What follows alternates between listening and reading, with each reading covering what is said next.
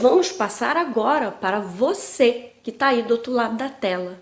Nós fomos aprendendo sobre as dificuldades do Eric de forma humanizada e respeitando sempre a nossa criança, como por exemplo, respeitando os steams, que são as estereotipias, entendendo a raiz de todas as crises para poder ajudar o Eric no que ele realmente tinha necessidade, no gerador da crise. E no nosso curso é isso que você vai aprender: a respeitar a individualidade de cada autista, de acordo com as necessidades específicas da pessoa. Você vai aprender os porquês de certos comportamentos, por exemplo.